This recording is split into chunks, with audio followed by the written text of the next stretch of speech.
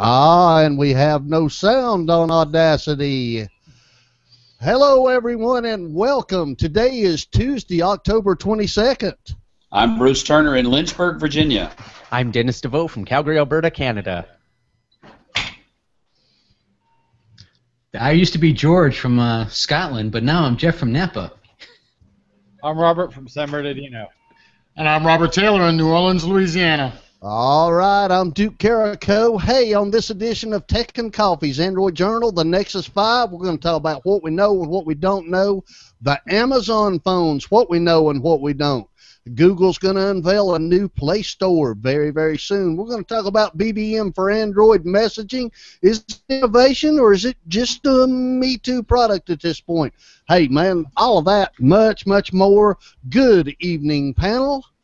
Good evening.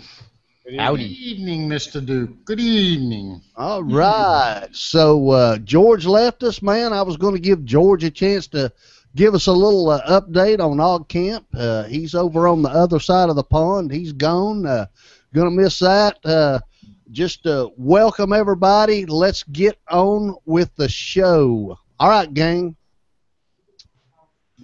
Finally, I think we can say some for sure things about the Nexus 5. Nexus 5 appeared briefly on Google's Play Store. Uh, we're talking about a 16 gigabyte version. Here's what we know: 16 gigabyte is uh, going to go for 349. What we don't know is what the 32 gigabyte version is going to sell for. Now, this new version, this new uh, Nexus 5 is going to include Android 4.4 KitKat. There's been some screenshots. We're sure about that. Evidently, with the Nexus 5 retail box that has leaked out on the internet, there is apparently going to be a white version in addition to the black version. We still don't know the release date, but we still think it's late October. Now then, there was a rumor out there that there was going to be the 32 gigabyte version was going to feature a larger battery. We now know that is not true, just based on FCC filings. So that is what we know, and we don't know about the Nexus 5. Uh, so let's see, Dennis. Yep. Tell me what you think, man. Well, first of all, I have to uh, admit one thing right now. I was wrong. I kept saying I didn't know if it would be called the Nexus 5 just because what are they going to do in, two, in 2015? But uh, maybe they'll call it the Nexus Air or something. I don't know. Nonetheless, um, it still looks like it's going to be an interesting phone. Um, for those who have a Nexus 4, I think it actually will be a significant upgrade, mainly because of the uh, the processor and everything in that as well. And it's great to see that we're finally going to get a 32 gigabyte version. Okay. Anybody else got any comments on what we know or don't know against the Nexus 5? Well, we don't know if they're going to market it primarily as a phone, a tablet, or a phablet. Well, I think at five inches now, that's pretty standard for for a phone. A lot of people would have said, you know, that was too big a while back. I don't think uh, people feel that way anymore. It's Well, not the Sony Xperia Z Ultra, 6.4 inch screen. Well, my Note 3 has got uh, just a little bit bigger than the 5 inch screen, and they sort of marketed it as a phone fab, sort of a hybrid between a tablet and a phone. That's a 5.7 inch screen, so that's quite a bit bigger. Yeah, I would call your phone a phablet. I wouldn't call five inches necessarily a phablet. Yeah, but you know, where is the industry going to draw the lines? This is a cell phone. This is a tablet. This is the hybrid phablet. I don't think the industry cares. They're going to make Yeah. different size devices, and as long as they sell, they'll keep making them. Yeah, Oh, it'll be the the Samsung approach. You know, I'm gonna put everything on the on the wall, and you grab whatever you want to take. Yeah, that's I, LG. and, you know, I do. I think. I think we'll see. Uh, I, I really do believe that uh, the next time that Apple unveils an iPhone, I believe it's going to be a larger, wider screen. I, I really believe that. All right, hey man, I'm moving on. I'm moving on. Let's Wait, talk wait, wait, about. wait, wait, wait, wait. I, I, I got one question, uh, uh, one statement. I have run out of fingers talking about the Nexus 5 because we have talked about it one, two, three, four, five, a lot of weeks in a row. When the darn thing is going to show up? I, I'm Next tired Monday. of pictures. I'm tired of hearing about this. Where is the darn thing? I just want to know if I can get it on Verizon. Well, you know, hey, hey, Robert, I'm seeing a pattern. You know, I mean, the X phone was the same way till it finally actually did show up. In fact, I called it the uh, what? What did I call it? The uh, unicorn. Yeah, the unicorn, the X phone unicorn. Absolutely, people swore it existed, but nobody had never seen it. You know. Well, I'm going to call this thing the Leprechaun. That's all I got to say. Well, I got to tell you, when you said unicorn, my little uh, Android buddy here started laughing. yeah, she was laughing because I'm a redneck, not because I said unicorn. Hey, you talk about throwing stuff on the wall. What about LG fixing to come out with uh, a Chrome OS uh, laptop, desktop, and all that other kind of stuff? You talk about And a throwing tablet. stuff on the wall. Yeah, yeah. Uh, I think we're going to see a convertible, a, uh Chromebook convertible. And in fact, that is on the docket to talk about later on tonight. So, uh, hey, I'm moving on, guys. Uh, here's what we know and we don't know about the Amazon phone. Now, uh, to set this up, just let me make this clear. Amazon's been rumored for years now to be making a phone, and you know we uh, we thought we might see a phone when we saw the Fire tablet, and since we've seen the tablet, we've heard a lot of talk about Android going to come to the phone. Well, check this out. Financial Times is citing people familiar with the project that's claiming that Amazon has partnered with HTC to create three, three smartphones. Okay?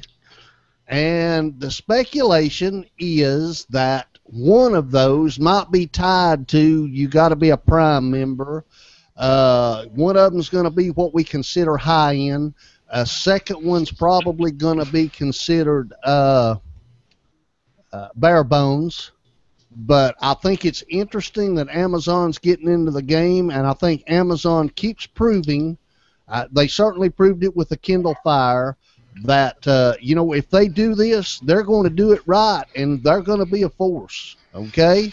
Uh, now there is speculation around this that Google's not going to like HTC building phones for for Amazon, and let's not forget that HTC is part of Google's handset alliance.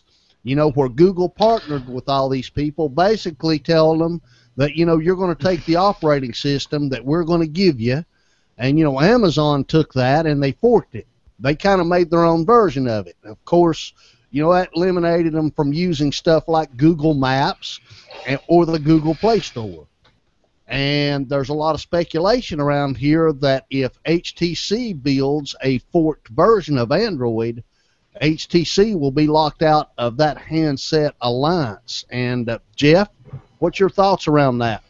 Well, you know, I, you know, first of all, I don't know how much Google really cares about Amazon having its own ecosystem as long as it has Android up a, a version of Android on it, as much as everyone else here. So, uh, you know, I think their biggest thing is, you know, let's saturate the market with Android devices. You know, let's keep that going. But uh, but for what HTC is doing, what we talked about last week is still holds true this week.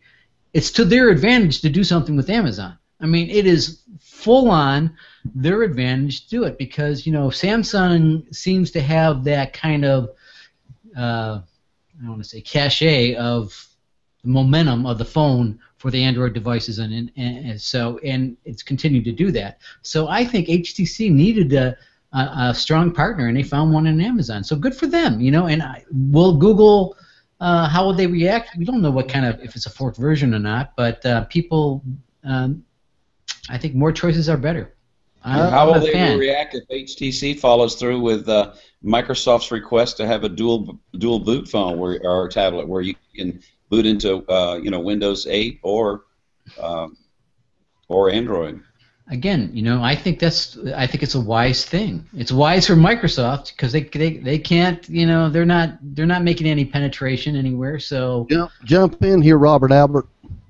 Yeah, I'm just wondering who the carrier would be. I mean, it's going to be quote an Amazon phone, but is it going, who's going to who, who- who's going to be the network carrier? AT&T, Verizon. Pick I- your I think unlocked, because I, I think it's going to be sold directly through Amazon, not the carriers. Kind of like yeah, kind of like above. some of the uh, Nexus 5 phones. and subsidized too, perhaps, right? Robert Robert Taylor, what's your thoughts, man?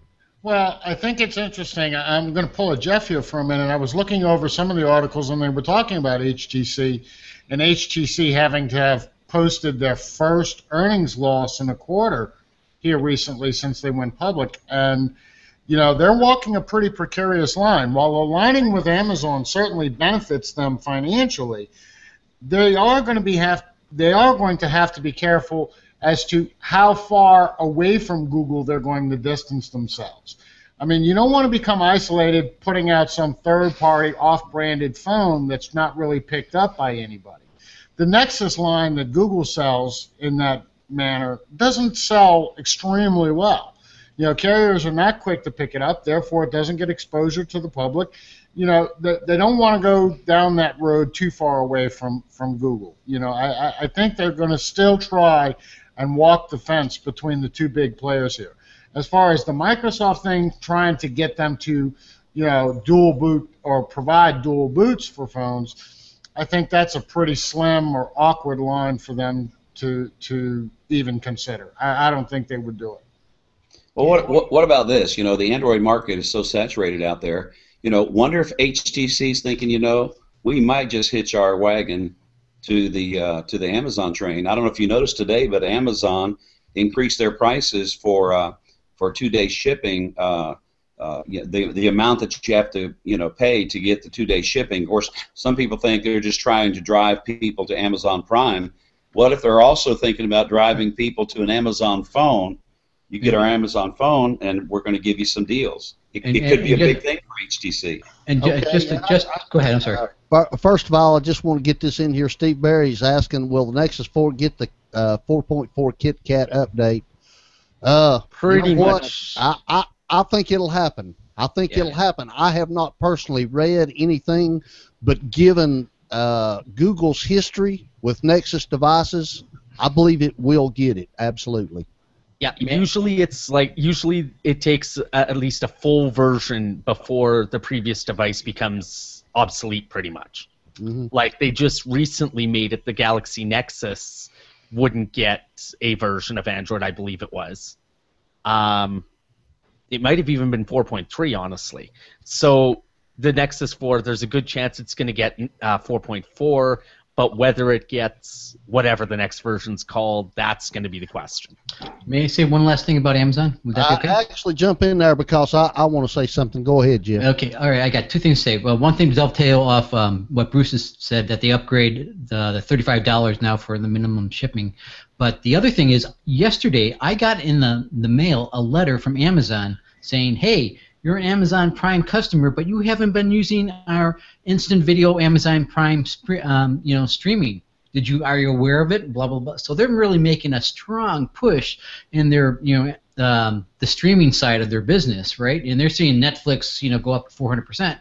Uh, you know, I think the phone, all that stuff is a strategic move to get people to start streaming content for Amazon Prime, instant video stuff. Okay, So- here's here's uh here's my thoughts. I, I was hoping someone else might touch on it because early on when we started talking about this, Jeff, you said that you didn't think Google cared. Yeah. Uh, that you know which that that uh, HTC would make a forked version. Uh, right now, Google makes money on Android through their advertising. Okay, they don't make any money through Amazon's advertising because it's a forked version. Okay, Amazon basically took that code and added code to it. Okay, uh, and and I think that HTC being part of this handset alliance, I be I believe it will be a problem for HTC going forward. But uh, according to this article from Android Authority, uh, Wall Street Journal reported in late August that HTC is developing a new operating system for the Chinese market. Hey, listen, we're talking about this like HTC's talking to uh, uh, Amazon about uh, this operating system. I think everybody is assuming that it's going to be Android that they're putting on it. We don't know that. I'm going to say one last thing because I like to argue. Um, you know, I don't think the reason why I don't think Google cares about the Amazon fork version is because their stock went over a thousand dollars. Why did their stock go over a thousand dollars? All that mobile searching. What engine are they using? They're using Google to look at things, searching through mobile devices. So if it's on an if it's on a Kindle device, if it's on whatever, it's mobile searching. They're going to get their money regardless, even though it's a fork version. I've got a quick thing as well. This is like a digital Sadie Hawkins dance with HTC looking for us more more suitors. Absolutely, absolutely, and they need more. They need more. They're uh, uh, they're in a tough spot right now, and uh, I, I'm hoping it works out for them. Really, I am. Hey, I want to move on, guys. Uh, Google has confirmed that October 24th, that's this Thursday, uh, they are holding an event for Night Out. It's a Google Play event. Now we've been talking about Nexus and KitKat, so forth, so on. There is no evidence whatsoever that we're going to hear anything about it at this event. And you can find, if you want a sideload, you can go sideload the new version of the Play Store right now. Uh, just want to throw it out to the panel. What are you guys speculating? Are we going to get any surprises out of this event Thursday night? Uh, Dennis? Um, well, actually, when I first heard about this uh, night out event, the first thing I thought was, of course, Nexus 5, Nexus 10, etc. But um, then I believe it was Engadget again who had mentioned that they had received info from Google that there would not be an announcement. So it's not a matter of confirmed nor like it's not a matter of uh, speculation. It's it, I don't think it's necessarily going to happen um, unless they go and really surprise us. But I can't see them saying there won't be an announcement and then there is. So I think it's more just to celebrate five years of Android. Google Glass is going to be available for Christmas shipping. Oh, gosh. We should have known. I can't even believe If I can that you would even go there. After I have embarrassed you now for 10 months. I can't. I was, I've been patiently waiting for Dennis to just get that little quiet moment so I could jump in there as that joke. But no, Or who how knows what about- they're going to do. Night out, watch out. Watch out. Ah, maybe, maybe. All right. Hey, I'm moving on, guys. Uh, listen, BlackBerry. We have talked on this show uh, about BlackBerry probably as much as we have about the Nexus 5, and it's not even an Android device. BlackBerry has just uh, it, it's been sad, and Dennis being Canadian, I know that BlackBerry is near and dear to his heart. Uh, they've uh, they've been working on this messaging app for iOS and Android, and uh, man, they just they had such a hard time just trying to get the app into the Android store, and there were all of these knockoffs, and they pulled it back because they had these problems. Well, they went live with it this week, and all indications are that this has been very successful. Dennis has got it on his phone. I'm I'm waiting on my invite. I've made the email request. Uh, I, I don't think that this alone is going to, you know, it's certainly not going to turn BlackBerry around, but with this legendary uh, messaging app, I just wanted to give the panel a chance to talk about it. And Dennis, on this one, I really want to start with you again. Okay. Well, um, first of all, you raised a good point that I do not think, like, or let's just say this right now. BBM is not going to save BlackBerry. It's not a matter of I don't think. It's I know it's not going to save them. Um, they have to do something else.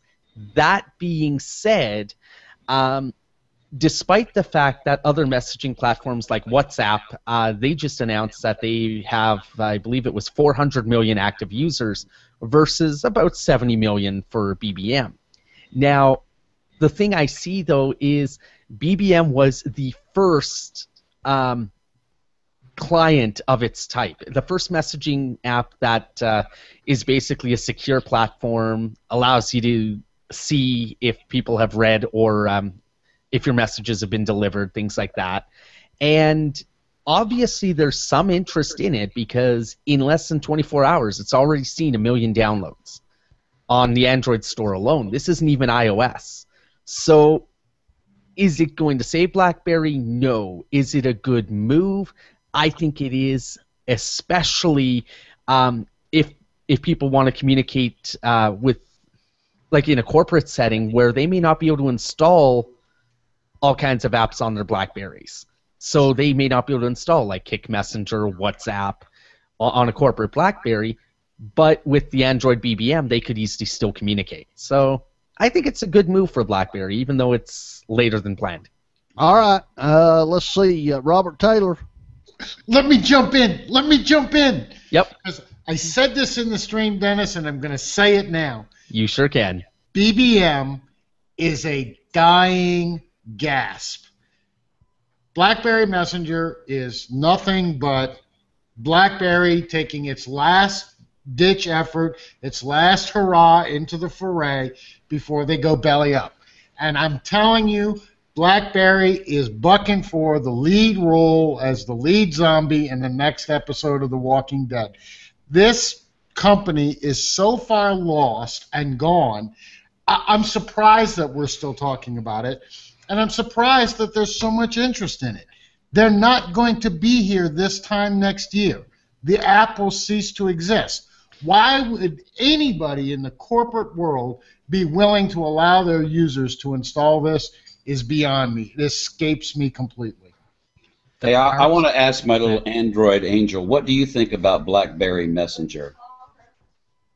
Oh, Down. Uh, Okay. well, All right. you know, let's clear one thing up though. Is people like Robert said that BlackBerry isn't going to be around in a year. Um, the bottom line is, even though BlackBerry's in a lot of trouble right now, and they're probably they're going to be sold to someone, either Fairfax Financial, Lenovo, whatever.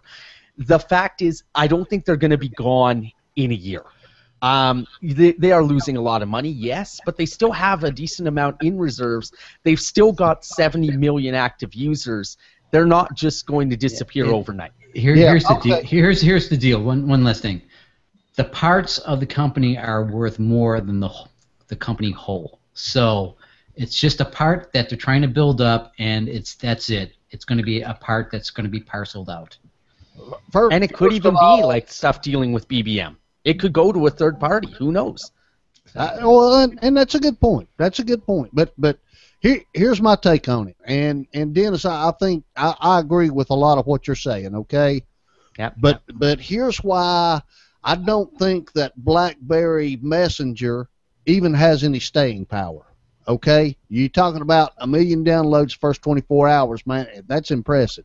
Okay, I can think of similar launches though, to where we've had all of these multiple downloads, and then here later we're we, we, we don't even talk about them. You know, Foursquare's got 50 million, over 50 million users, but uh, probably uh, about uh, 10% of those are active users. And when I say active, I'm talking about they're checking in monthly. People lose interest in these things. And and at this point, with BlackBerry Messenger coming on, you've got iMessage for uh, uh, iOS, uh, you've got Hangouts, you've got Kik Messenger, you've got WhatsApp, you've got Snapchat, and these people are they're they're not just using these apps as individuals. They're using them because their friends are using them. It's the Google Plus Facebook scenario. Okay?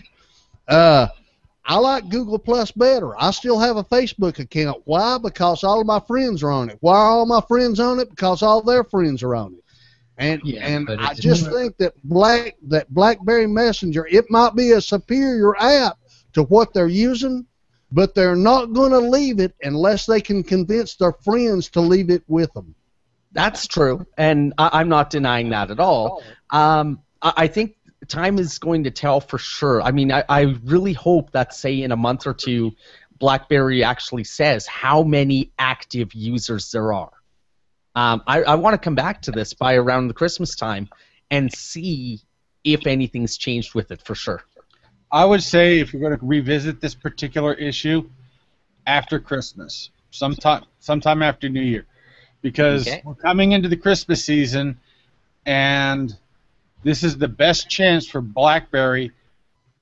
Either they got to do a release, do a surprise release of a new product or something, but if BlackBerry ju- doesn't get some needed, not influx of cash, but influx of users in their Yep. system. And positive news, that too. Yeah, and positive news. Yeah, this- someone's going to, uh, some corporate radio's just going to buy it, chop it up, and sell it off. Literally. Let, let's see what happens in three months then. That'll take us to Uh, the end of I- January. I think it's a good plan. I think it's a good plan. I will tell you, I've got a. Uh, I've actually started looking back, uh, you know, for uh, another show that we do called Tech News Week. I ask everyone to make predictions, and uh, actually watched that video the other day, and uh, I, I just want to say right now that's going to be a great show coming up, guys. I think uh, think it's going to be a lot of fun. Hey, Tanya Bolus has made a comment that she's downloaded BBM and she thinks it's nothing big. People can just text instead of BBM. Uh, I think that's true, but I think BBM offers some flexibility that's just not there and just plain old text. So, Yeah, Well, like multi- longer messages, um, and again more secure. Now we've had this discussion before of how of how many people are actually concerned about security um, when it comes to texting, different things like that. So I, I see her point, and I, I've definitely seen that idea, but it's um, even communicating with groups. You can't really easily do that with texting. It gets really uh, I- convoluted. agreed. But agreed. there are other ways as well. So I, I can I definitely understand people who are opposed to it, and I'm not saying that it's going to be the best thing since sliced bread, but there's pros and cons to anything, is how I see Well, it. I, I, Dennis, I, I will promise you this, Yep, uh, yep. because uh, listen, I, I can tell you have a little bit more passion around this than at least I do. I will promise you this: I'm going to get an invite, and I'm going to install it, and uh, yeah, maybe two or three of us, but I definitely want your contact information. I want to give it a fair shake, man, and and For sure. I might eat my words before it's over with. If if I like it, you know I'll tout it Okay. Because you know I like my Chromebook. I like my little Samsung Chromebook, and and this article caught my attention here about LG is getting ready to uh, to launch some Chrome devices, and it sounds like uh, they're going to actually uh, launch three of them. And uh, one of let's see, I'm trying to find what they call them. Uh, Bruce, you said them at the beginning of the show there. Let's see. Uh, the Chrome One, the Chrome Desk, and the Chrome Station. Now we don't know what any of that means, but that are that are is the names that they're going to run with. I'm guessing that Chrome One is going to be a laptop, Chrome Desk is going to be a a desktop, and Chrome Station. What in the world's that going to be? I don't know, man. Maybe it's the combination of Chrome OS and Chromecast. Who knows? Well, I was thinking that the, the Chrome station would be like a central house server sort of thing for all, all the other uh, Chrome OS devices. You know, like a media center, file server, that sort of thing. Possibly. Possibly could be. Any other thoughts? Oh, not too man. sure, honestly. Oh, you mean about Chrome Station versus you know, Well, Chrome just about these Chrome devices there. What do you think they're going to be? I mean, LG's getting into the game here. Yeah, well, they, they, you know, again, because you know, it's the writing's on the wall that these are um, so getting more and more traction, especially in schools and uh, and other places. And you know, rumor has it there's going to be a new chromatic uh, kind of uh, show coming up. So, you know, I think um, I think LG just wants to jump on that bandwagon so it could be part of it. Hey, Bruce, uh, you got any passion around this LG announcement? I, I- you know, I think it's interesting that there are some people who are very eh, interested in having a Chrome OS tablet, uh, and I think if they came out with a Chrome OS tablet that was kind of like the uh, you know Windows RT, you know, with a keyboard, uh, it it could be uh, it could be a nice thing. Yeah, if we, you know, we're talking like touch screen, uh, keyboard, you unhook it. Yeah, absolutely, man. Right. Well, I'll tell you what, this one's going to be fun to watch. At this point in time, it's uh, it's a whole lot of rumor and a little bit of hearsay. So uh, let's uh, let's keep our ears to the ground and see what happens here. All right, man. We were talking earlier about uh, uh, Google and and uh, forked versions of Android. Let's talk about the money that Google is spending on Motorola. Okay. Uh, apparently, in just the last few months, Google has dropped a billion dollars. And of course, uh, Jeff, you mentioned that Google stock now is over a thousand dollars a share. Yeah. Uh, Google's got money to burn. Uh, does is does this matter short term? Um, does it really? Uh, Well, I think like if, if for them, you know, it's an investment, right? It's an investment, and they're looking for the long term. Google has always looked long term. When they bought YouTube, they didn't. Uh, it wasn't making money to begin with, right? It wasn't. It wasn't profitable. Now it's. A, what they, it's a what, it seems like they paid like three hundred million dollars for YouTube. yeah, uh, yeah. But that was back what ten years ago, right? Yeah. Yeah, so um, you know, spending a billion dollars, okay, wow, They- make a billion dollars a day. you know, I mean, I don't know how much money they make a day, but it's it's it's up there, right? So um, I think I think it's it's like, um, okay, here's my thing, it's when we when I was working for this company, we decided that um, because we were doing these um, controller things, that since the other controllers boards weren't doing something, we were going to manufacture one ourselves.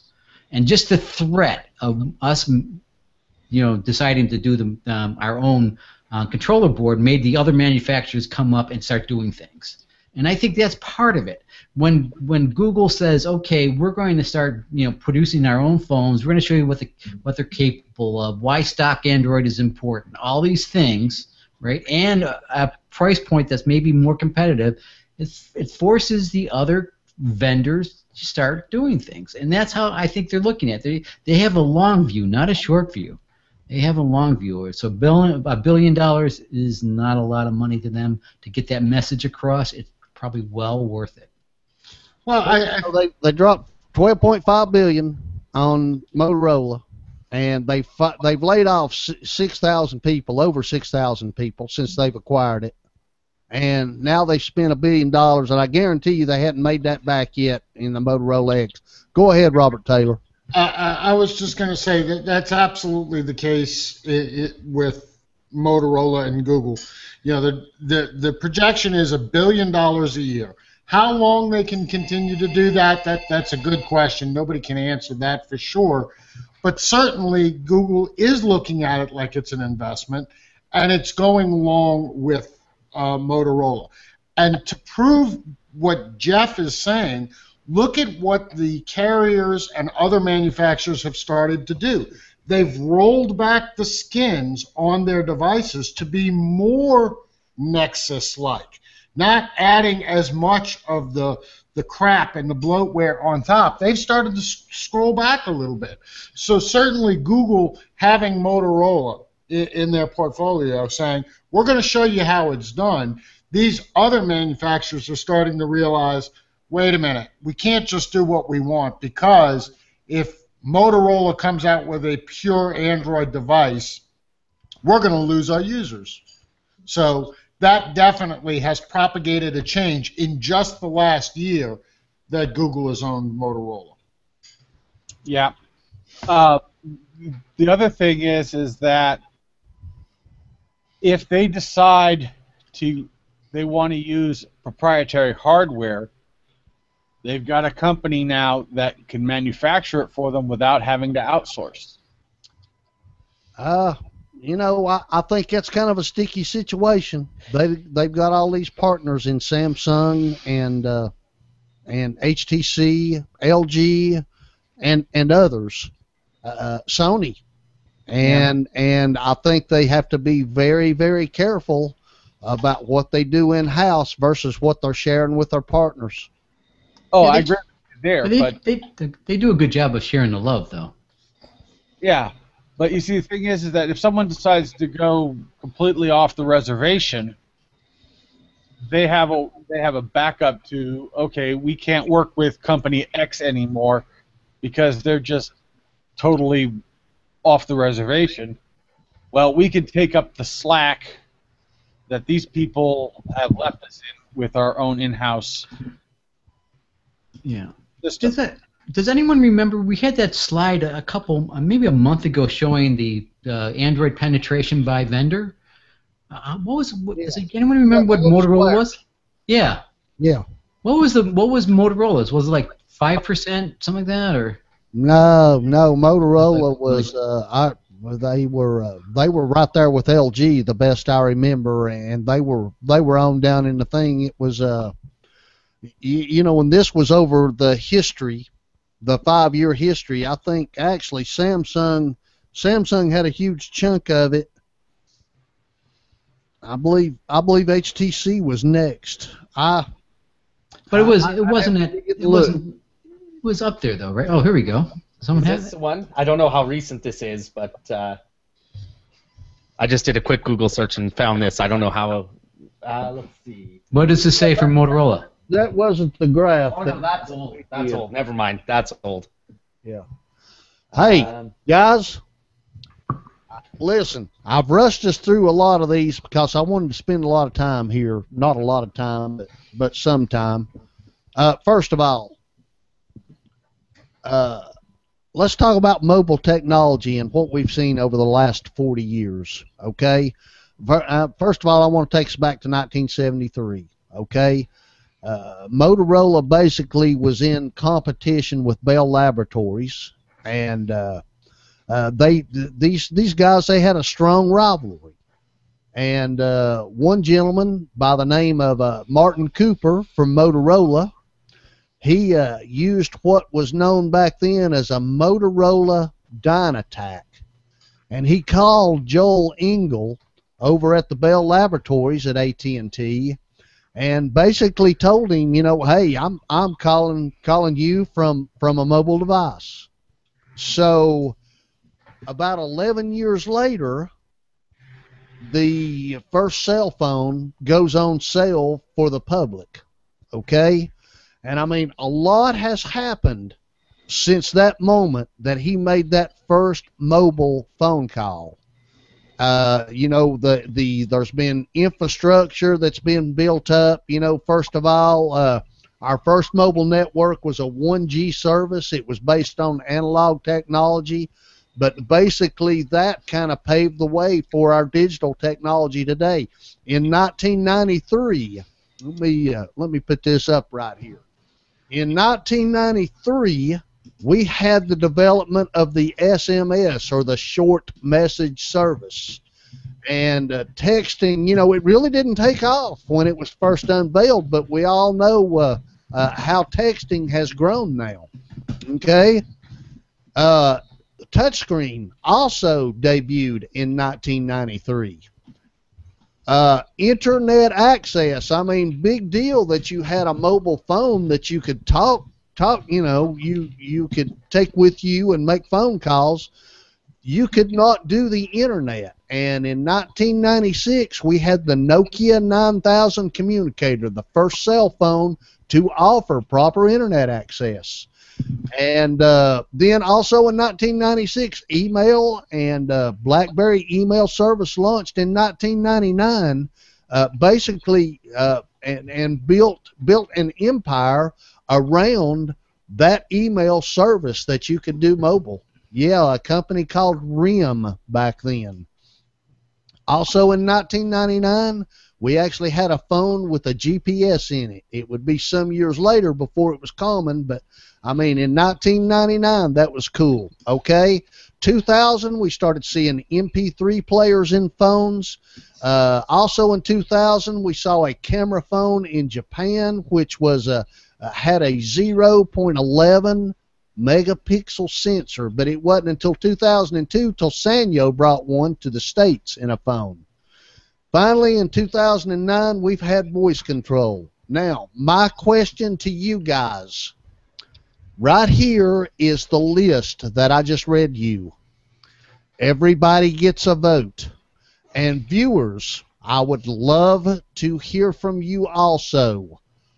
What do you think is the one single most advancement in mobile technology past the invention of the cell phone? You I would have to say list? it, I'd have to split it into two. Nope, nope. You can't. You can't pick two. You didn't listen to my rules. You got to pick one. Let me explain this. I would I would have to lump email into internet access because that's predominantly where email All right. Now you've said it. Now pick one. internet access. I'd be in agreement. Internet access. All right. I got I, I got something, but it's I'm going to go with internet access. But I have also I want to say one other thing. Right. Yep. The impact of the global technology or global business that the economy around the cell phone industry. As I said, infrastructure is still in process of being built up. I've already made that point. No, but I'm just saying how much money has been Oh, generated. yeah, absolutely. See, like the App it is, uh, Store. just- that- No, no, I'm not talking about. I'm not. Not Ta- the I'm app? talking Okay. about just uh, you know the size of companies, their net worth, how much money people spend on phones, all the gadgets. It is just a, it's a behemoth. Bruce and Robert. I'm going to say streaming media, podcast, video, music. So that would be uh, internet access. I mean, the MP3 player was there, but yeah, internet access made streaming happen. Right. Yeah. Without a doubt, it's internet access. The device is nothing without its store of vast knowledge available. All the other things that we see here are basically the brand of tires that you put on your car. The truth of the matter is, without gas in the engine to take you where you're going, the car is useless. The internet is the winner. Okay. I, I and listen, I'm down with that. But uh, all right, man. Listen, that was fun. But now then, I'm going to ask every one of you, what is going to be the next big thing in mobile technology? Robert Taylor, I'll start with you this time. Um, if if I had to guess, we're actually going to get to the point where we have implant technology. I believe that's where we're headed next.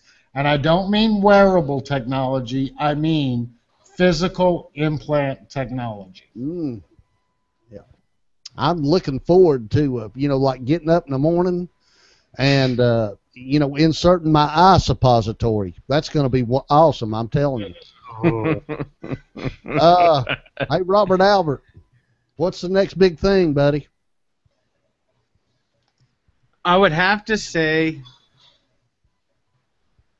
the next big thing in quote cell phone technology would be when they finally get a solid state drive small enough so that you could actually put things like Microsoft Office or LibreOffice or you know more applications onto something that small and you still be easily usable. Hmm. You know, powerful enough to do you know, just really beef out the technology to do more with the device. So you don't need a cell phone and a tablet, a laptop, and mm, it's all the one device. Okay. I, I I agree with you. I said something uh, similar, I think, on predictions. Jeff Zeiss, what do you think, buddy? Uh, well, I try not to think, but I'm going to go for a guess. Um, you know, for me, it's interoperability. Okay, where everything is ubiquitous. I love the word ubiquitous, but the cell phone is just going to be connected to everything, right? The device will be able to, you know, you will be able to go shopping with your device, to tell you what aisle or what the product is at. You'll be able to uh, communicate with your ref- refrigerator. Will tell you when it's out of, you know, a certain product that you have to go buy eggs. All that stuff, all the appliance technology is interoperable to your device. Jeff, So- would you spell ubiquitous? for I was going to ask him that, Robert. I would love to if my brain would work because I can't think. But no, I- for me, it's the whole how everything is just going to be every appliance you know that you know is going to be talking to your phone or connecting to your phone or connecting to that device, telling you what you have to do or, or what is missing or what is going on. all that. I think Robert Albert. I think Robert Albert was touching on that same idea. Absolutely. Yep. Yeah, but Jeff's Ah. going to be in line for the implantable device. Try to go go for the Hey, hey, ubiquitous. hey, Dennis DeVoe, jump in here, man.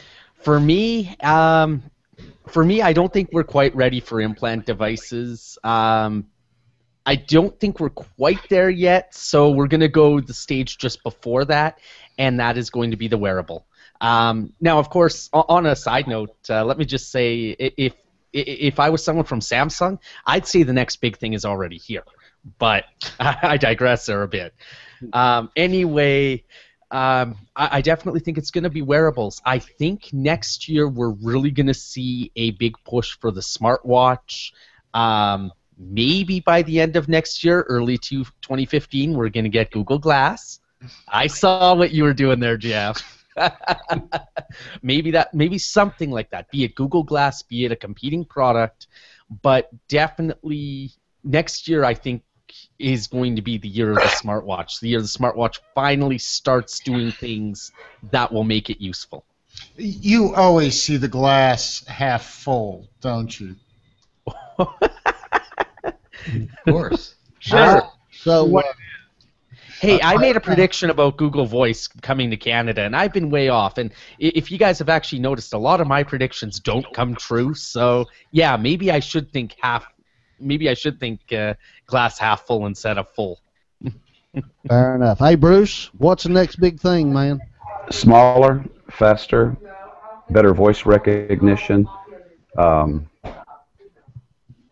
uh, and and and wearable. I, I think voice recognition is going to become really big, uh, connecting us with all of the data that's out there, being able to ask questions. Artificial intelligence. I think that's going to be the next big thing. All right, here's what I think the next big thing is. I think the next big thing is better internet access. Okay?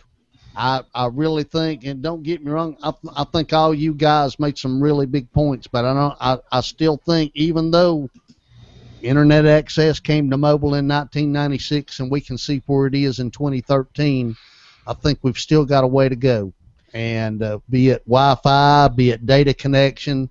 No, I don't think 5G is the answer, but I think better coverage for all carriers. Uh, you, you know, we've we've still got some work to do around there. I hope Google tries their best to address it, other than you know putting fiber in a few cities. They, they need to launch a few balloons, is what you're saying. Well, it may that that might not be a bad thing. Absolutely, that's that's a good point.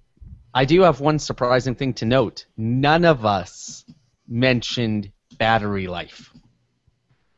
That's a good point. That's a good point. And battery life is, uh, yeah, that's that's a problem. Hey, gang, uh, viewers or Stitcher Radio listeners, uh, follow us on Twitter or Facebook at Tech and Coffee One. Our YouTube channel is Tech and Coffee. You can listen to our audio podcast, Stitcher Radio, and iTunes. Just search on Tech and Coffee's Tech News Week or Android Journal. Our favorite social network is Google Plus. Just search on Tech and Coffee and look for that T and C logo. Questions, comments, and snide remarks, send them to AJ at techandcoffee.info. Hey guys, let's move into the app segment of tonight's show. Bruce, you got one for us, man? Yeah, I do have uh, an app, so let me go ahead and uh, share my screen with you. Um, I'm uh, I'm interested in a lot of what's going on in the Middle East, and I would introduce an app called the Whole. Granted, this is going to have uh, even touch, but Hey Bruce, uh, we're, not really travels Bruce, Bruce. around and uh, all over the world. It, hey Bruce. Crash and burn. Hey Bruce, we're we're uh, we're not getting every third or fourth word you're saying there, my friend. We're just uh, yeah, there he went. Yeah. Hey Dennis, what you got for us, man? All right, so um, the app that I'm going to mention here is called The Score, and it is a sports app. Now, The Score is actually a Canadian network, and I actually just had to verify with someone that it is available in the States as well. So, since we lost Bruce there, I didn't quite have it fully up and running, but just bear with me one moment here. All right. So what it is, it basically lets you keep track of your favorite sports teams. And the thing that I really like about it is it is not just um, it's not just NFL, it's not just NHL. It covers almost everything. Now, of course, it's not going to load. AirDroid's not going to load for me, which it did before. Um, come on, AirDroid. I seem to always have these problems. Last week I had a problem. My app just kept crashing on me. But what it is here, let me just see if I can uh, show a screen here. Just a moment. So what it does, for example, is it gives me a list of the different uh, sports teams. Let me uh, see if I can get a way to show this. So it'll give me a list of like my upcoming CFL games, my Canadian football games, and while the games are going on, um, I can have a favorite team. So if I want to follow the Calgary Stampeders or for NHL the Calgary Flames, um, it'll actually give me highlights like in terms of notifications. So it'll tell me, oh, um, like Calgary scored or the opposing team scored, and it's really nice if I can't actually watch the game if I'm doing other things. It just gives me a nice alert for that. So it's a free app, and in terms of the sports that it supports, let me just go here. It's NHL hockey, football, um, MLB baseball, NBA basketball, NCAA football, mixed martial arts, uh, various soccer, PGA golf, NASCAR racing. So it's very in depth um, in terms of what you can follow. And I don't think there's a limit to how many teams you can follow, so you can get notifications for almost everything if you wanted to. And I think it's just a handy app uh, for any sports fan there. All right, very good there. Uh, hey Jeff, what you got for us, man? Well, I got something um, that I tried to use and I couldn't get to work, which, you know, I hate to say this, but sucks. So let me sh- uh, share my screen. I hope you guys can see it there. It is Microsoft Remote Desktop. Yes, what a great program this was. Um, which is kind of conf- kind of I thought was kind of weird that if you look, it has has a four star rating. 2,030 people have downloaded it. It's got uh, 42.95 recommended on Google, and I couldn't get it to work. So um, yeah, it is what it's supposed to do. You're supposed to be able to con- configure your PC, uh, your remote desktop to get that working on um, Windows 8. You know, you enable it on Windows 8 size. You give it the gateway. You give it, and I even tried putting in the the damn IP address of the PC I'm trying to connect to, um, and I couldn't get any of these little screens to show up. So um, my rant is, you know, this you, can't control you, you got this remote desktop and they can't get it to work it is just very very very frustrating so i'm, I'm giving it a thumbs down uh, microsoft remote desktop uh, it's a quick review i would like to show it but it's just uh, it's not working for me now, did you um, enable that in your control panel in Windows? Because Yes, I did. Remote desktop normally isn't enabled to begin with. yes i enabled it yes of course i did yeah, yeah, Oh, yeah.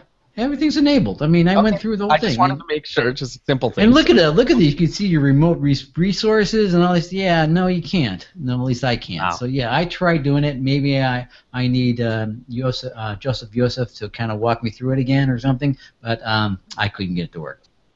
So eh. Okay, fair enough. I've uh, I've downloaded it, but I haven't tried to set it up yet. Hey, uh, Robert Albert, you got one for us? Yeah. Um, this is uh, an app that uh, I first used many moons ago back in high school. It was a game my father told me about that he was playing on ARPANET, and they made a DOS version of it, and it was called Star Trek, and it's basically a little text game. It's called the Star Trek text game now on uh, Android, and you just go around shooting Klingons. and you know it's got several levels of difficulty. How many? You know, it's just a neat little game that you can play anywhere when you like sitting in line or whatever at the drugstore. It's just you know a cute, fun, small little app. Uh, most you know. Is it like asteroids? Kind of. No, no, it's a text game. Um, it's turn-based essentially. Okay. Now, what are you going to do for this turn? Well, I think I'm going to move my ship from this point to this point. You tell it how much you're going to move and what direction you're going to move, or whether or not you're going to shoot. You know, various and sundry th- things like that. It's like I said, it was, it was based off for on a game for an 8080 processor with 16k of RAM. Uh, so it there isn't a lot to it. Now they spiced, spiced it up a little bit, but still, there just basically isn't a lot to it. But it was a fun game, and you could play it for 10 minutes or 10 hours, and was, you know, like I said, this is super retro, back in the 70s. Very good. Used to love those those text-based games, Robert. I did. Yeah, that game Oh, Zork, Let you played them and loved them. Yep. I, I, all uh, the BBS games. Yeah. A lot of the young folks out there we have no idea what we're talking about, but those of you who remember, yeah, I could get back into that if I wanted to. Okay, Robert Taylor, what you got for us, man? No app tonight, Mr. Duke. All right, I'm gonna I'm gonna make this real quick here. First of all, uh, my my app is uh, enhanced email. This app is not a cheap app. It is nine ninety nine. Uh, why would you want enhanced email app versus your regular email? Well, this thing is about as uh, uh, versatile as they come, and I'm going to uh, share my AirDroid here. I have taken you into settings, and you can see I've got account settings, I've got notification settings, server settings, message settings, global settings. I can come in here. I can set a, uh, a message list limit. I can. What I really like about this is I can set up multiple accounts, and they will all show up on one screen. Okay, this thing is. Uh, uh, listen, if you're needing an email app that, uh, and like I say, what comes stock on Android or Gmail isn't cutting it, you're going to be hard pressed to find a better email app than this.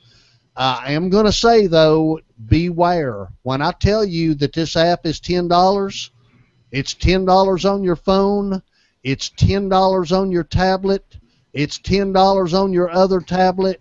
It is, uh, yeah, it's not uh, buy it once and you got a license across. There's a couple of reasons for that. One, it supports Microsoft's ActiveSync, and Microsoft requires an individual license for for uh, each device. But uh, tremendous, tremendous email app. That's enhanced email, gang. I believe that's all we've got tonight, and we did it all under an hour and carried a lot, covered a lot of ground. I listen, appreciate the panel, appreciate all you guys do, man. And I would play an outro, except it doesn't work. So, hey everybody, Android Journal. Hey, and before I go, I am hosting Tech and Coffee's Tech News Week this Thursday night. Come on out, man. We're going to be talking about all the Apple announcements. We're going to be talking about anything that's been in the tech news this week, and uh, you'll probably see a few of them on this panel in that show too. Hey, everyone, peace out. Have a great week.